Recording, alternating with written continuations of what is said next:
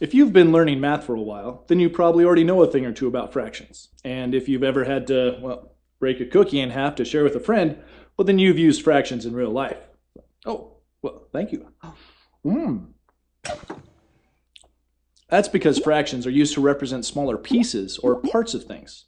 When you're first learning about fractions, it can help to draw pictures to see how they work. So let's start by drawing a circle. Now this circle represents what we call a whole. Now, not the kind of hole you can fall into, more like a whole cookie or a whole pizza.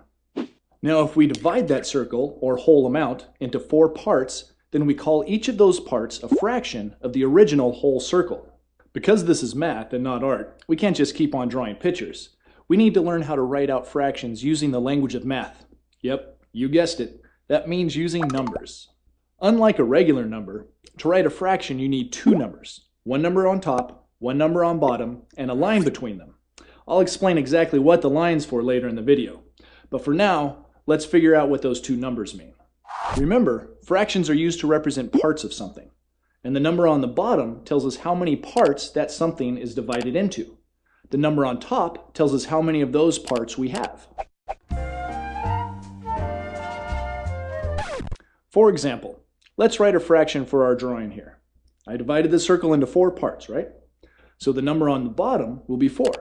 And I still have all four of those parts, so the number on top will also be 4. I have 4 out of 4 parts.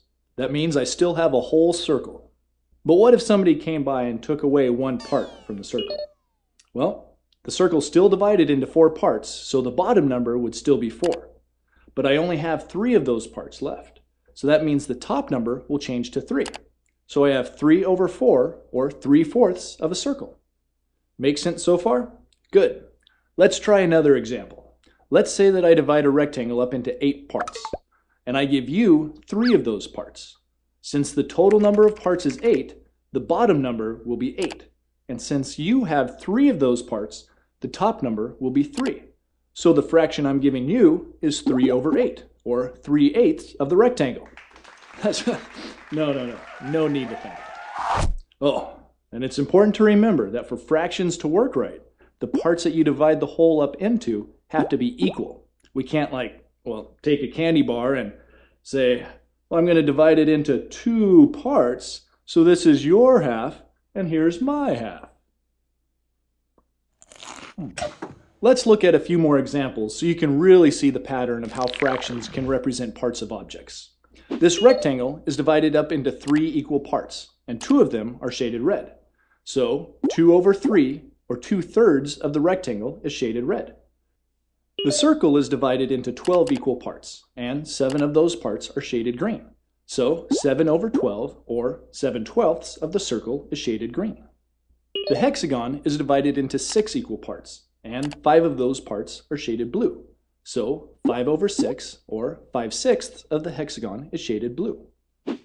All right, so you can see how fractions can be used to represent parts of objects like circles and rectangles. But fractions can be used for more than that. They can be used to represent parts of, well, anything. Like, like pets, for example. Let's say you have seven pets four dogs, two cats, and a big fat hamster. Well, that means that 4 over 7, or 4 sevenths of your pets are dogs. And 2 over 7, or 2 sevenths of your pets are cats. And 1 over 7, or 1 seventh of your pets are hamsters. It also means that your house probably smells like a pet store. Okay, so fractions can be used to represent anything from parts of a circle to kitty cats. But did you know that fractions can also be used to represent things you can't even see? Well, like a test score, for example. Let's say you take a math test and there's 20 questions on the test, and you get 17 of those questions right. That means that you got 17 over 20, or 17 twentieths of the questions right. All right, so that's the basic idea of how fractions can be used to represent parts of things. But there's a lot more to fractions than that. In the next section, we're going to be looking at some of the other things we can do with fractions. But before that, let's review. Fractions are used to represent parts of a whole.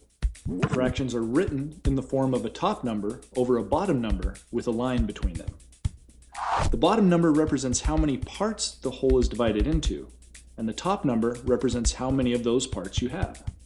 And finally, the parts that a whole is divided up into must be equal for fractions to work right. To really understand how fractions are used to represent parts of things, be sure to do the exercises. And I'll see you in section two.